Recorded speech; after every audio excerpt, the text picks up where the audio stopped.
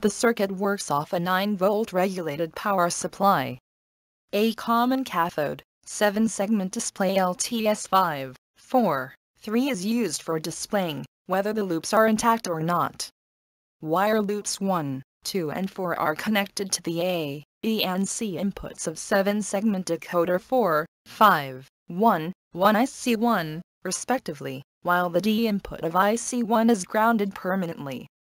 The loops are also connected to a dual 3-input NOR gate and inverter CD4, 0, 0, 0 IC2, to activate the alarm. If loop 1 is broken, the display will show 1. If two or all the three loops are broken, the display will show the sum of the respective broken loop numbers. For example, if loops 1 and 4 are broken, the display will show 5, 1 plus 4. When all the three loops are intact, the display will show 0. All the three inputs of NOR gate N1 remain low to give a high output. This high output is further given to inverter gate N2 and, as a result, its output remains low. This keeps transistor T1 in cutoff position and the buzzer does not sound.